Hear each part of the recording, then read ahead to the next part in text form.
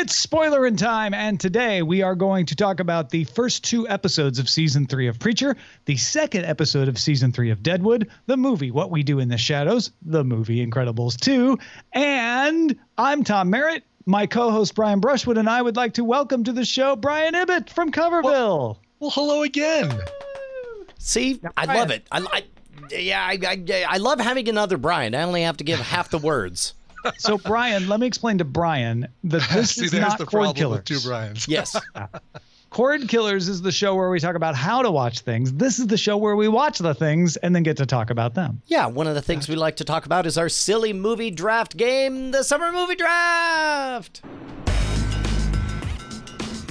All right, all right, all right. Tom, talk to me. Just What how is it, long do you Brushwood? think? I am 105 million dollars ahead of Team John Trekker, and all they have left is Mission Impossible Fallout and The Purge. Uh, well, as if those two combined could Mission possibly Impossible make. Fallout alone could never make 105 million dollars total across its domestic gross run. Yeah, all right. So it's gonna it's gonna run right past you. Behind them, so behind you is uh uh what two hundred and twenty million dollars is Team Night Attack. That's me. You have a chance. You have to make 220 million dollars plus whatever else they make off of Mission Impossible Fallout. I'm, I'm not right? seeing that now. Now You're getting that from Skyscraper and Skyscraper. yeah, right. Just skyscraper is not going to make two hundred and fifty million dollars. I mean, you'll still make some money off Jurassic World: Fallen Kingdom. Uh, Uh, okay, let's be generous and say fifty more more dollars or fifty more million dollars is Yeah. in that tank.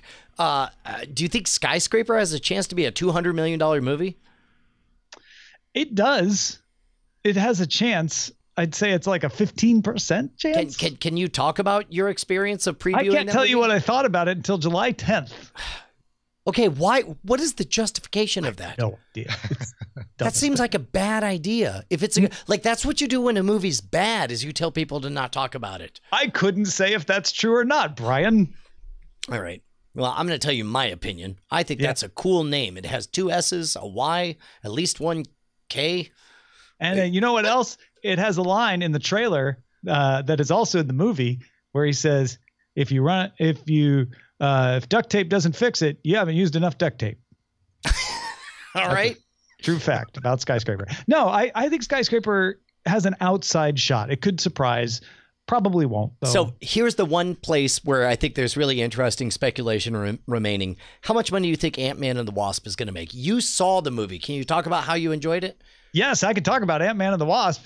they let me tell talk about it the very next day after I saw it, um, and it is great. Uh, it's funny. It is probably funnier than the original Ant Man. Uh, so if you liked Ant Man, you will like Ant Man and the Wasp. If you didn't like Ant Man, you might still like Ant Man and the Wasp. I- uh, and and it's blissfully free of too many connections to Avengers Infinity War. Right. There is a connection to tie it in so you don't feel like, oh, this is just floating off in space. But most of the movie, you don't even have to worry about that. You're just having a good time. Dude, I'm so happy to hear that. I was I was fairly lukewarm on the original Ant Man, although I do owe it a second viewing. Uh, but it looked like Ant Man and the Wasp is embracing the silly. It looks like it's embracing the video game uh, dynamics of making Oh, yeah. stuff small and big, and you know, it felt like Portal or whatever. Yeah. No, it, it does have a lot of those video game aspects. And Michael Pena is allowed to be a lot funnier than he was in Ant Man. Oh wow, and he was And you know, he's- he was funny in the first one too. So, is the second one uh, as much of a heist movie as the first one? Yeah, if there's if there's a negative about Ant Man and the Wasp, it's that the story is pretty mundane. Uh, it, Okay. it is a it is a heist gone wrong story uh, with a villain and a villain uh, all trying to go after the same thing, uh, Okay. and they're trying to save. And I think this is apparent from the trailer. They're they're trying to save Michelle Pfeiffer's character, right? They're trying to see if Right. she's still out there in the quantum realm somewhere, and if so, can we bring her back? Uh, okay, so what what uh, movies or TV shows do we want to move on to next? Oh, uh, yes. Okay, so let's start with Incredibles 2. Uh, take it away, Brian. Yeah, and this will be a true spoiler in time because Tom, we're gonna spoil the movie for you. Guess what? Have you Get ready, seen Tom. Have you seen Incredibles one? I have. I hope you really enjoyed watching Incredibles 2. Can I can I can I start off talking about Okay, yes, Incredibles yes. 2? I I've mentioned before I've only seen bits and pieces of Incredibles. Oh, you've not seen the had- whole first movie. Right. Okay. I had seen little bits about it. I kind of got this plot, and I really enjoyed Incredibles 2. I, I went in and they ta- they set the table very well of of who the family is and the dynamic, uh, and really pack it full. Like it felt like a fast movie. I will s- I will point out that Incredibles 2 and uh, Brian you watched it as well, right? Mhm, So right. uh, Incredibles 2 I think succeeded on a, a cinematic level in a way Incredibles 1 did not. Incredibles 1 there were two phases. There was the golden age of comics opening segment. The first act was gorgeous and beautiful. The colors were over the top and saturated. Then you entered into this silver age of the 1960s. Uh, the, the, the first act in Incredibles 1 is 1940s. Second act is 1960s. Feels more Brady Bunchy. You get a little more uh, uh, uh, uh, kind of washed out uh, colors, lots of uh, teals and so on. But um, Incredibles 2 on the action sequences, specifically all surrounding uh, uh, Elastigirl, uh, those were great standalone. They almost Yeah. felt dark, gritty DC uh, cinematic universe.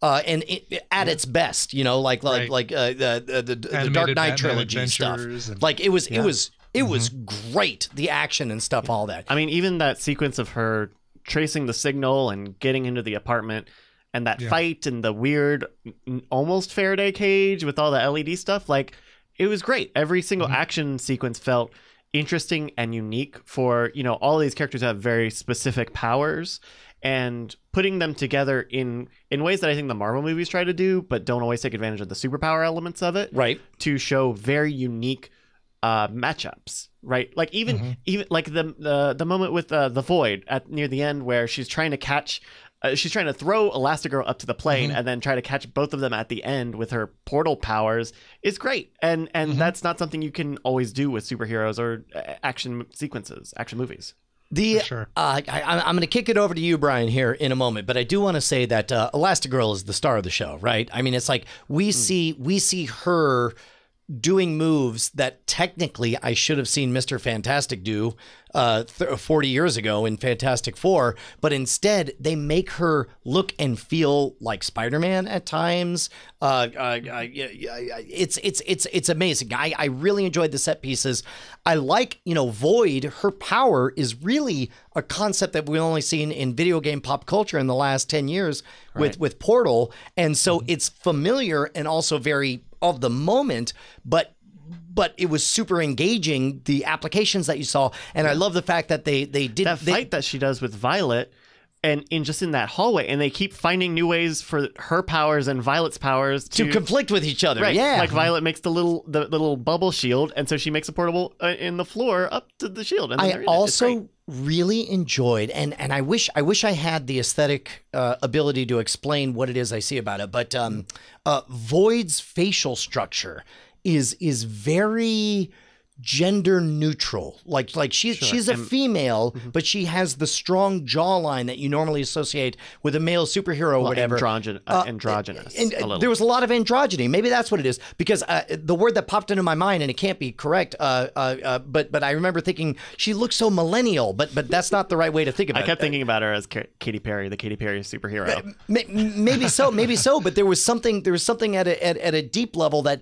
made me really appreciate the new crop of superheroes that they introduced as feeling very of the moment. Does any of this ring true with you, Brian? One hundred percent. I love uh, number one. Love the the way they introduce these new characters that could almost expand into an incredible cinematic universe. An ICU, except that's not a really good name. Um, but you also have a situation where uh, here's a movie that kind of does what other sequel movies have done. First movie introduce the the characters. Second movie you give them a baby to contend with, and and somebody has to be the new Mr. Mom kind of thing and they do it so well. I know Jack Jack was in the first film, but they do it so well in this one that it could have been like a uh, Mr. Mom, another great, you know, another example of this.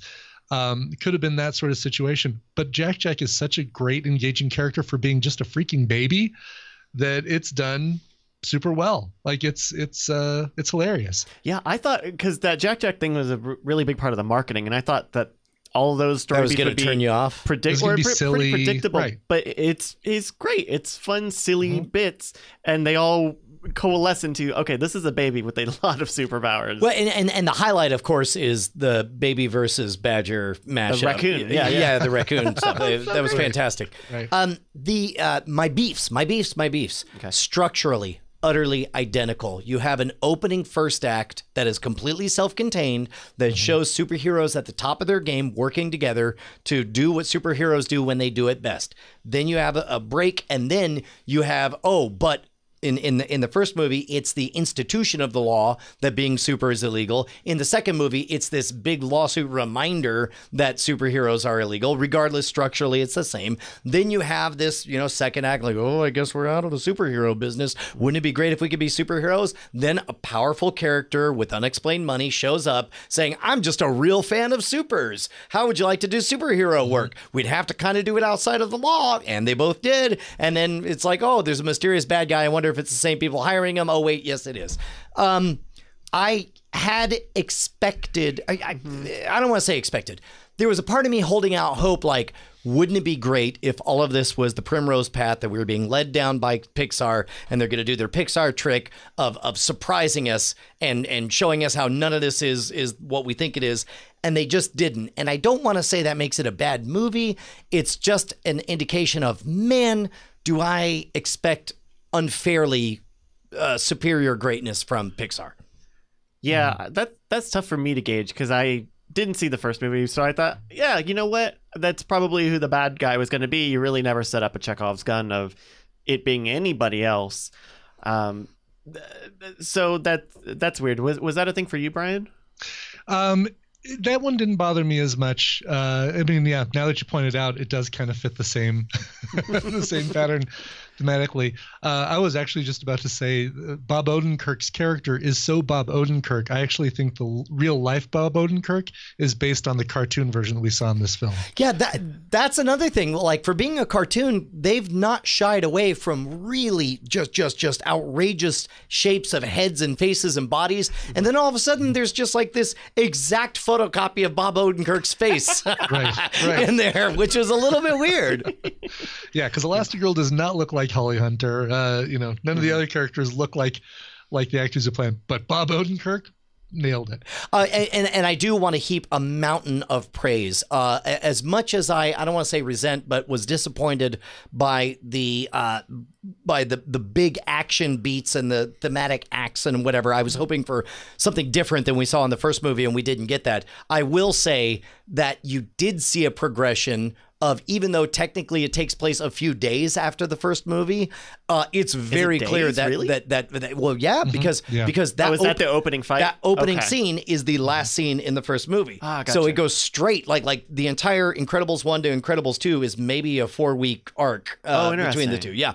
The uh, uh but uh, uh, uh but like seeing Violet move to from the early phases of teenagedom to hardcore teenagedom as a dad. And plus also I am a dad who in the last 2 years has seen my wife announce I'm going back to work. You got to figure stuff out. Goodbye. And then all of a sudden I, I go from being the guy who's the star of the show touring all around America to now my job is to drive my daughter to school every day.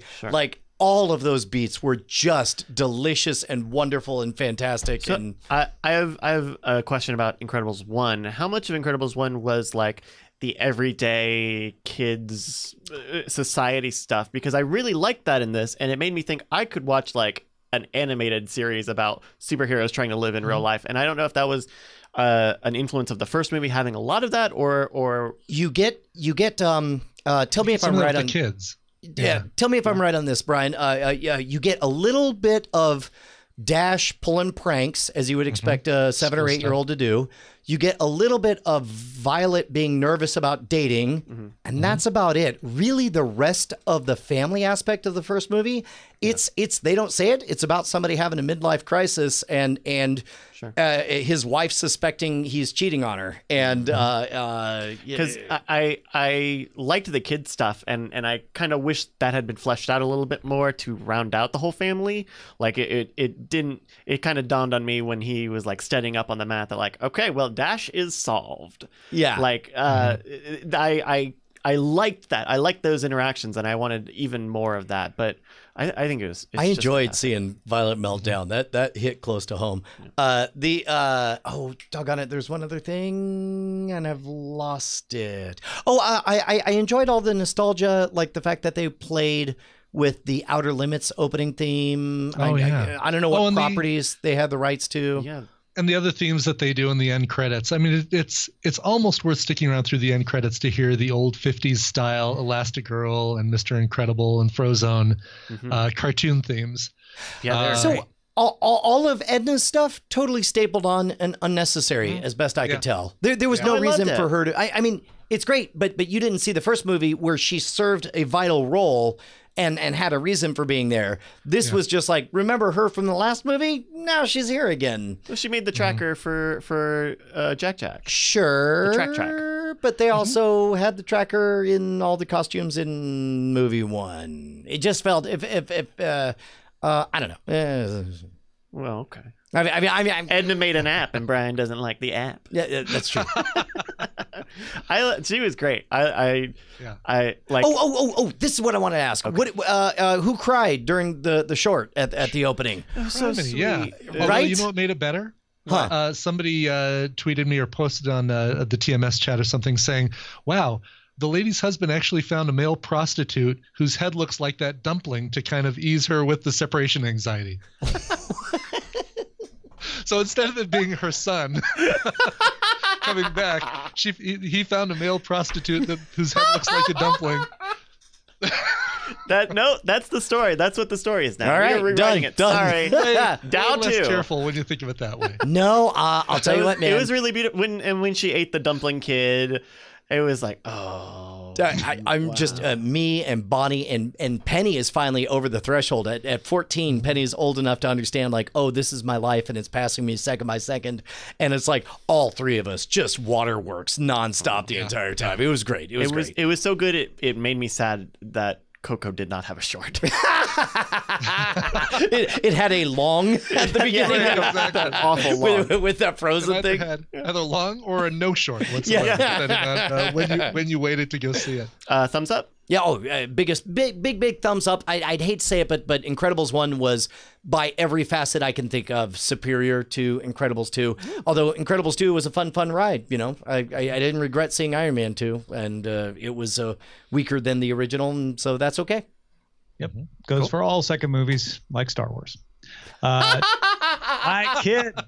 Don't have. I was bro. being careful in my words, but that's fine. uh, hey, uh, real quickly, uh, we don't need to spend a lot of time on it, but let's ch- chat about what we do in the shadows. Uh, the mockumentary of uh, it, it's really just a roommate comedy, except the roommates all happen to be vampires, and uh, you you get a little you know vampire versus werewolf, ha ha ha, and lot, lot, lots of turning stereotypes on their heads. But I think the the thing that I love about this movie is that it just never felt strained. It never felt like it was saying, "And now we're making the vampire joke." It just felt natural, like, "Oh yeah, this is what awkward vampires would be like." And yes, they're hundreds of years old instead of 20s, but I love the way they're like, "Oh well, he's new. You know, he's young. He's only 130 years old, so he still does these crazy things." And we've got the old guy in the closet who's a thousand, eight thousand years old, or whatever.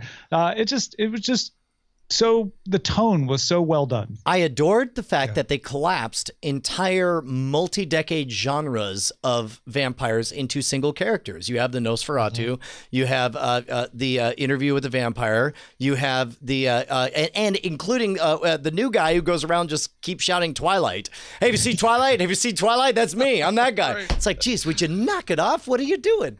I, I, I thought it was great. Emmett, what do you think of what we did? If you can remember that far back. I know so far back. No, it, it um this was a recommendation. Somebody uh, I was talking on again TMS about how I was just getting so sick of the typical current comedies. Sure, they're funny. Bridesmaids funny, you know, uh, the the Apatow stuff, but it is always that kind of same element of this, then pay it off with a gross out, have somebody squat in the middle of the street after eating bad shrimp, whatever. And um and after that comment somebody said you need to watch what we do in the shadows it's a current comedy doesn't follow that that same framework and completely loved it like uh and and as soon as I heard there was going to be a, a, a, sequel with the with the werewolves and Riz Darby, Riz Darby, uh, yeah, Rhys Darby, who also Darby. is in uh, Voltron in uh, the Netflix show, uh, which you all should watch. He And- is great. Yeah, wear Yeah. tearaway clothes. You know, so so great. Yeah, it's uh, The Such a great uh, um, I watched it after seeing Thor Ragnarok, and everyone's like, "You're a Hmm. bad person because you haven't seen it." And I enjoyed it so much that I've actually held off on watching Hunt for the Wilderpeople, which I hear is also fantastic. Oh. Just because I realize there's only so many more early uh, Taika Waititi stuff left for me to experience for the first Yeah. All right, uh, we're gonna move on to Deadwood. Uh, Ibbott, you're gonna stick with us for this, but you've seen Yeah. all of Deadwood, so try I've not to spoil the end of it. Uh, we are at season three, episode two. I am not the fine man you take me for. In this episode, the candidates for sheriff and mayor deliver their campaign speeches. Swearingen uh, gets tortured a little bit by Hearst and then gets very angry. Doc Cochran is tending to Alma uh, as she is going through bad uh, labor things, and Ellsworth fears she's going to die. And Jane talks about her exploits with Custer to the school children.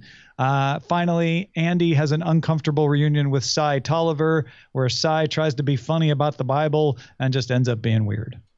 Okay, let's start with the worst parts of, parts of this. How did Cy- how did Cy go from being the best part of the show to the most useless appendage that has no benefit whatsoever for existing on the show? None whatsoever. I don't know if Powers Boothe just hated his contract and decided to torpedo every second he could on stage, but, But he I went don't from know that it's it's just powers. It's the things they're writing for him. Like don't make sense. I don't understand him calling this guy who shot him into the room and then being mocky Bible-y with him. And then when he finally gets disgusted and leaves, like I would have done, there's no point. I don't get what he was after there. Uh, well, he was stabbed, not shot, but also, and and Oh, he stabbed, was sorry, uh, w- uh, waving the gun around the entire time. I I deeply resent what they've done so far. It's it's This been is Tolliver's gun, unlike Chekhov's gun, never gets fired. either either they've been wasting my time with crap that doesn't matter, in which case I'm mad, or they take way too long to get to a place where something matters, in which case I'm still equally mad. Uh, there, there's no reason for Cy to be in any of this. Press pause on that. Everything about Jane talking to the kids, adorable. So good. So good.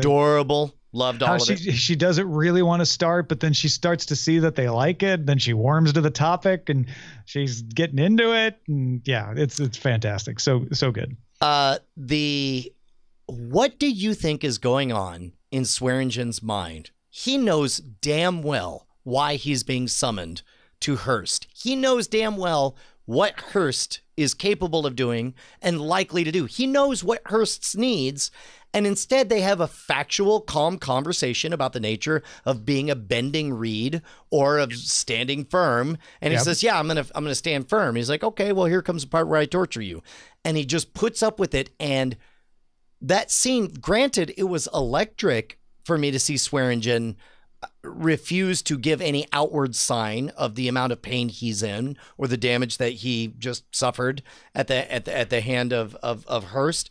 But also, it's unlike the Swearingen we've seen the entire series up to this. We've seen a very practical man who knows which way the wind is blowing, occasionally needs to strut his stuff. We are seeing him act entirely out of pride this time.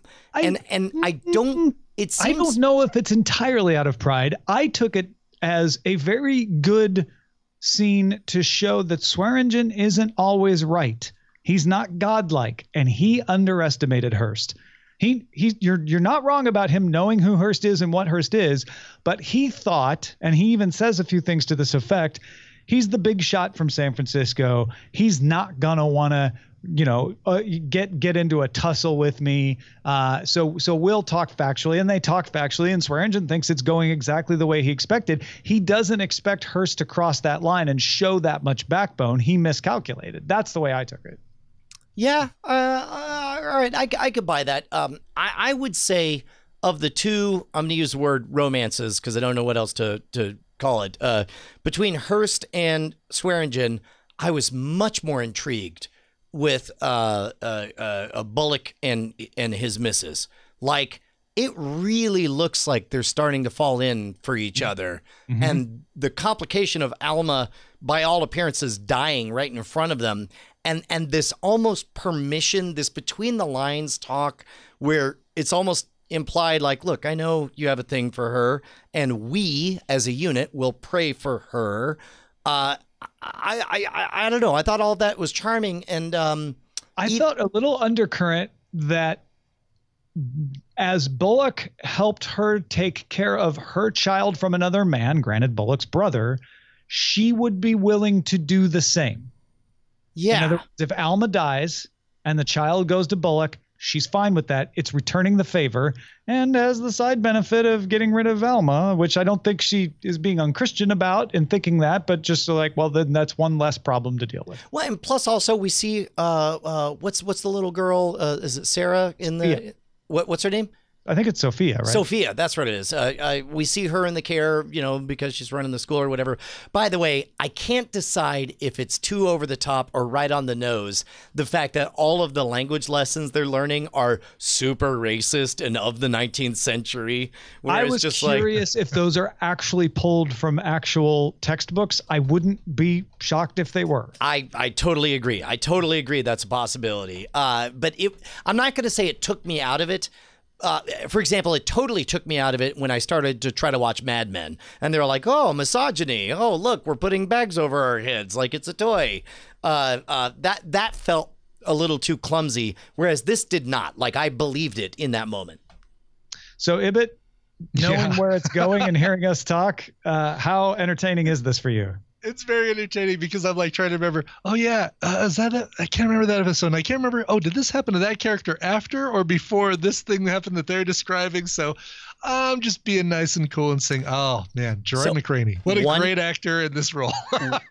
one more note uh they all you have four speeches that are given one of them really stood out from the rest uh E.B. Farnum's speech running for mayor uh without ever having said the word Uh, uh, it was really, uh, I, I, I, I certainly don't approve, but it was entertaining to see how his speech is. The other guy is a Jew. Please vote for me.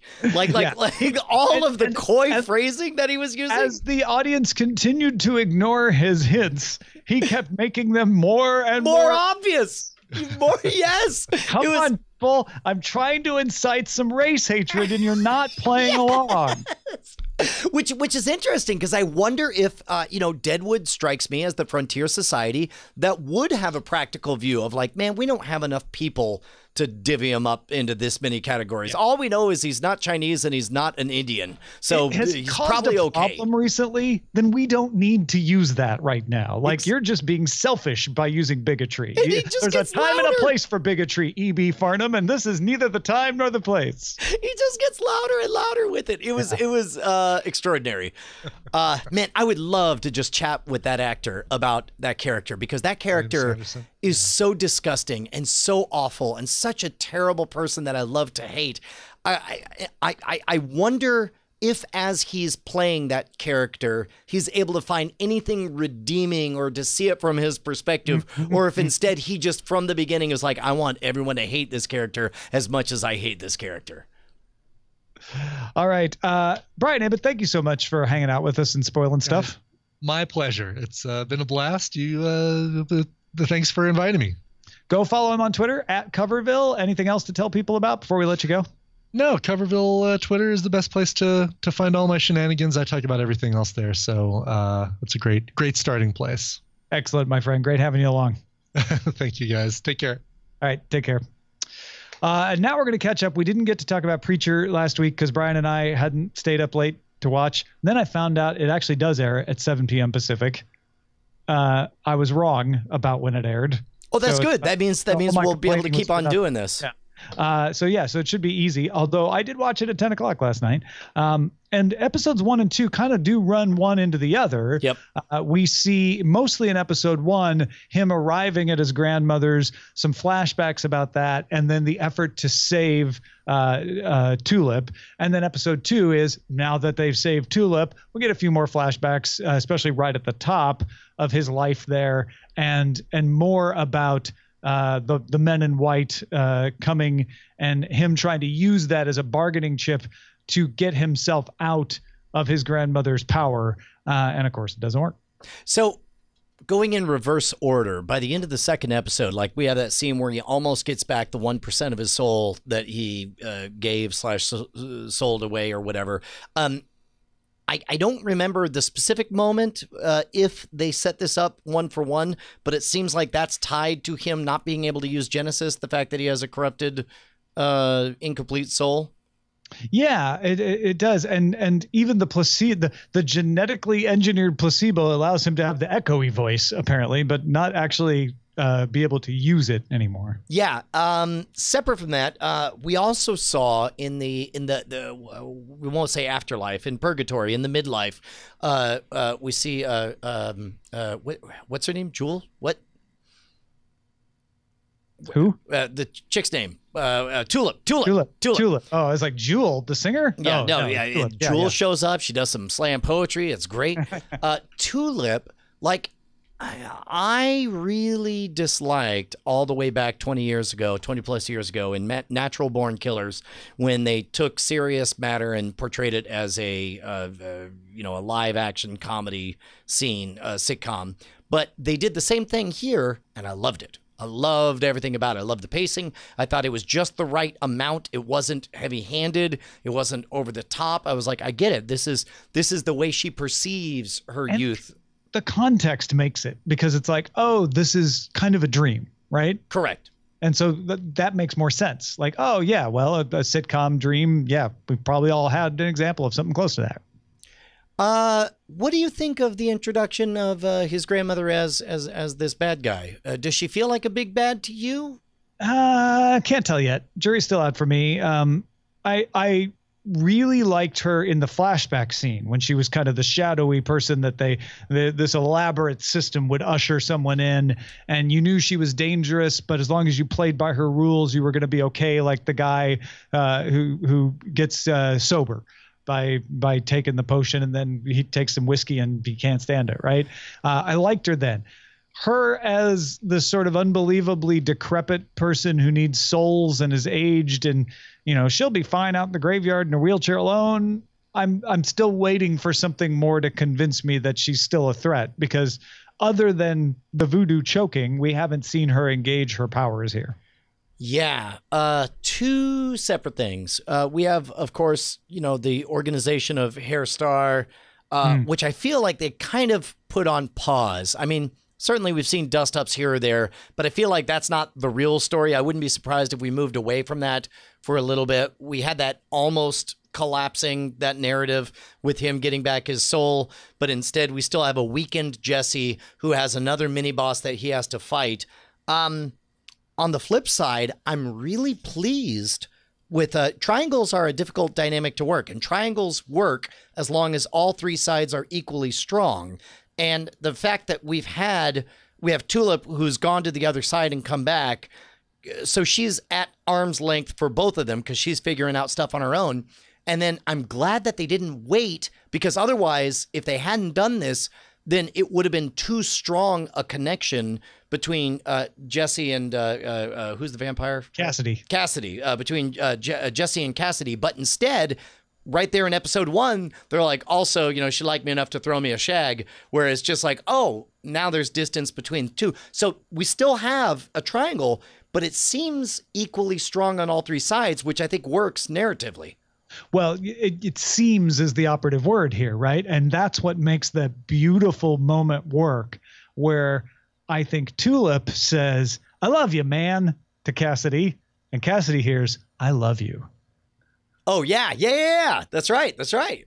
Uh, and and it's like, oh, she doesn't mean what he thinks she means, and that's going to cause more problems. And that again, that's what makes a good love triangle is misunderstandings, and you know the dynamics always shifting between those three equally uh, strong sides. So So I'm- I, I'm yeah, Looking surprised. forward and not looking forward to the the fallout from that. Oh, I, I am definitely looking forward to everything. I'm surprised that we're in the same location. I rather liked the idea Yeah. that each season takes place in a different area. I And guess we just made that up. I guess it's not a really a thing. Uh, well, yeah, you know, and maybe they'll decide to do that or not. I mean, it's Sure. um, you know, I guess were, we started last season in Texas and made it to New Orleans, right? Or, or am Yeah. I remembering wrong? yeah, um, still waiting for them to go Or to. maybe we started on the road and arrived. Go no, because we started in Vegas. Yeah, We arrived in Vegas and then went to New Orleans. So yeah, maybe we'll still make it out of New Orleans. uh, I, I'll tell you what, man. Um, You're missing Hitler. no, uh, no. Uh, although yes, uh, I, I Strange, strange as it may seem. Uh, I, I am looking forward to picking up that thread again. Did, But- did you see in the credits where they mention Noah Taylor, who plays Hitler? Yep. Uh, they show him working a counter at a like a fast food shop with a tag that says Hilter. Oh, does it? That's amazing. I, I missed So that. he obviously is going to be in the real world, I- and I- I assume good. that means Arseface will as well. I, I, I, I love that. Well, and you see Arseface in the uh, in the opening, you know. And in Yep, fact, like I've intentionally not looked real hard at that because I'm afraid of where my mind is going to go to try to predict uh, X, Y, or Z. Um, the uh, oh, uh, I think I might have lost it. Um, the I, I will say that uh, I think it's crazy that uh, that that Tulip's experience of God is still in the dog suit, and he's got a command, and he's still just like that's just God wearing that crazy Dalmatian suit. Uh, Dalmatian suit. what he does. Here's what I wanted to say. Uh, at a deep animalistic level, I was happy to watch Preacher in a way that I have not been happy for even one episode of watching Westworld. Westworld felt like homework. This felt like joy and fun and insanity. And if I didn't get it, I figured, ah, it's all gonna come out anyway. Like, like, uh, just I don't know. It's I, I'm excited for Better Call Saul to come back. I'm excited for Preacher. We're back to fun television, not this heavy-handed beat you over the head with overly uh, heavy symbology, out of sync timeline. I don't want your homework. I want to watch some TV. Well, and and I agree with you there because when I watch Deadwood, I don't I know I won't always love the episode, but I always love sitting down to watch it, right? Because I'm just like, you know what? I love I love the town. I love being here, you know? And and so I'm going to enjoy it. Westworld is not a welcoming thing. It's not a world that I love to be in. Uh, and and Preacher and Deadwood uh, and Better Call Saul and others are are worlds that I love to be in. They have varying levels of satisfaction story wise for me, uh, and and it comes and goes in all of them. Uh, but I love the world anyway, and uh, and Preacher has created a world where it's like, yeah, I just want to hang out with with Jesse and Tulip and Cassidy for as long as I can. Yep, yep, yep. Absolutely. All right. Well, thank you, folks, uh, for joining us and letting us spoil some stuff with you. I hope you like it. And if you do, please support us on Patreon. If you are a patron, you get Spoilerin' Time early and a little bit of extra conversation between Bryce and Brian and myself at patreon.com slash Cordkillers.